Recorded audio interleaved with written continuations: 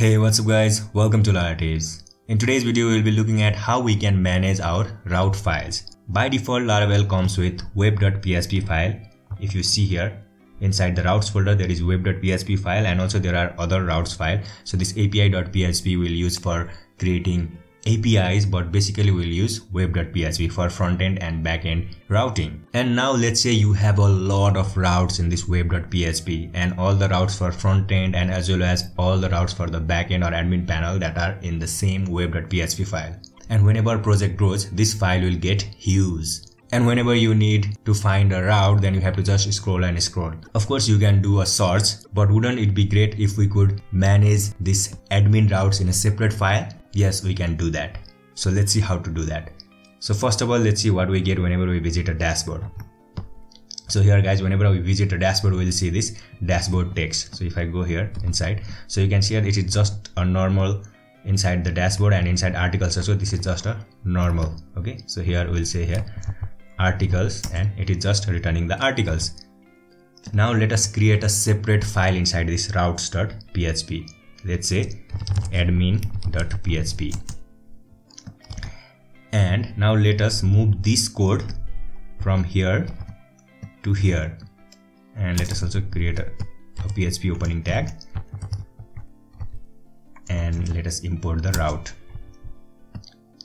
Okay now let us also import the admin dashboard controller and articles controller so now guys we have done this and we have removed it from here. Now if i come here and refresh the page now i will see a 404 page because by default laravel will look into web.php and it will not find that route because we have added that route in admin.php now how to tell laravel that we also have admin.php file? So we have to go to route service provider here which is inside app providers and route service providers and you can see it over here.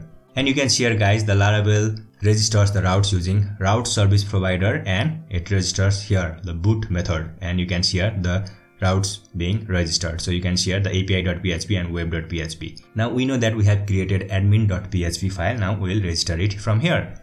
So we'll just duplicate this web.php because all the admin related code within the web.php we are moving to another file. So we'll just do this and instead of web.php we'll say here admin.php so you can see here guys inside the routes here we have admin.php and this base path will give us the path to the app folder. So this app folder. And after that we'll look into routes and then admin.php so now we have defined this. Now if i just come here and refresh the page now you can see here guys laravel can find those routes and again if i go to dashboard also then also it will find that route. And also guys if you see here in the admin.php file here so here we are using prefix and it is giving us one level of indentation. And we can also remove this prefix admin from here and move it to this one. So let's say here prefix admin like this. And we can remove it from here and if I come here and refresh the page now you can see here guys it is working the same way. Now look at here guys. Let's say you have uh, hundreds of routes for the admin panel then it can go here in admin.php file and every other routes that can go here in the web.php which is related to the front end. So now guys you can also add middleware. So let's say you want to add specific middleware to the admin routes then you can do middleware and give the any middleware that you want here so that's how we can manage routing in our project for larger projects. And if your project is very small, then you don't have to do this. Just stick with web.php file. And if your project grows, then you can just move it. It will just take a couple of minutes. So that's it for this video guys. I hope you enjoyed this video. If you enjoyed this video, then please don't forget to hit that thumbs up button and also hit subscribe button if you want to see more videos like this. Thank you for watching. Have a great day. Bye.